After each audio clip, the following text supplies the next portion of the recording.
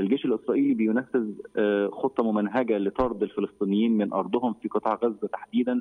بيلقي عليهم منشورات بتقول لهم إن أنتوا لازم تخلوا القطاع في خلال 24 ساعة وده كان يعني شيء مستنكر جدا من القيادة المصرية عندنا النهارده في بيان صدر من الخارجية المصرية بترفض إنه يتم تهجير الفلسطينيين بهذا الشكل. يعني المدة نفسها غير كافية لنزوح أو لخروج الفلسطينيين من الأرض. صحيح. معنى كده إن إحنا عندنا يعني بنتكلم في أكثر من 1.1 مليون وفق التصريحات الرسمية 1.1 مليون فلسطيني مطلوب منهم إن هم يخلوا شمال القطاع والاتجاه جنوبا في أقل من 24 ساعة. إزاي هذا العدد يمكن أن يخلى بهذه الطريقة في عدد الساعات القليل ده أنت بتتكلم على مليون مواطن وأكثر من مليون مواطن يتجهوا من الشمال للجنوب بهذه الطريقة.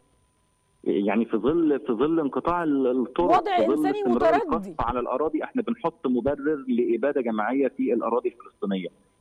يعني القوات الإسرائيلية أو قوات الاحتلال الإسرائيلي بتبرر لنفسها إنها عملت تحذير أو عملت تنبيه للمدنيين العزل في أراضي غزة قبل ما تقصف أو قبل ما يعني تقوم بالاجتياح البري للقطاع فاذا إحنا أمام خطة ممنهجة ودعم غربي منقطع النظير لأول مرة بيحصل بالشكل ده بشكل فج وصريح إن هم يقوموا بتهجير الفلسطينيين من أرضهم وبيدفعوا بقوة ناحية إن هم ينزلوا اتجاه الجنوب ومنها إلى الأراضي المصرية أو الحدود المصرية.